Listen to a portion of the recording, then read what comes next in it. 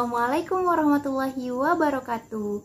Perkenalkan, saya Dea Ananda Fitri dari kelas 11 MIPA 1. Di video ini saya akan menjelaskan materi bab 4 pelajaran pendidikan kewarganegaraan, yaitu peran Indonesia dalam menciptakan perdamaian dunia melalui organisasi internasional.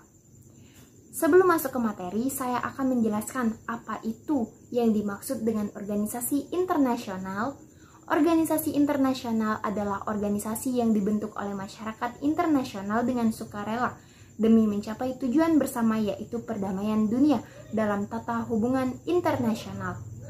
Indonesia adalah salah satu negara yang tergabung dalam beberapa organisasi di dunia, salah satunya adalah Perserikatan Bangsa-Bangsa.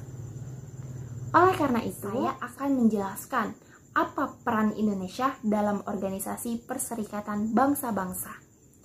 Perserikatan Bangsa-Bangsa atau yang biasa kita kenal dengan PBB adalah salah satu organisasi yang terdiri dari hampir seluruh negara yang ada di dunia masuk Indonesia.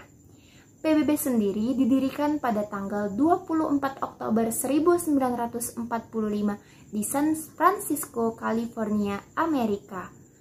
Tujuan dibentuknya PBB adalah untuk menciptakan perdamaian dunia Indonesia resmi menjadi anggota PBB yang ke-60 pada tanggal 28 September 1950 dengan suara bulat dari seluruh anggota PBB.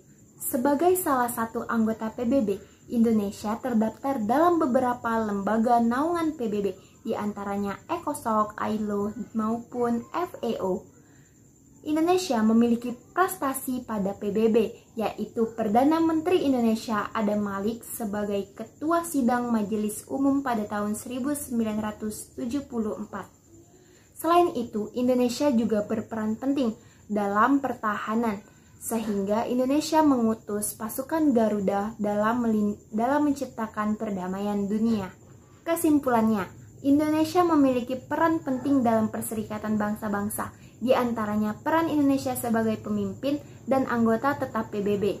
Selain itu, peran Indonesia dalam memberi bantuan kemanusiaan di berbagai negara dan juga peran Indonesia sebagai pengaruh yang sangat besar dalam menciptakan perdamaian dunia di PBB.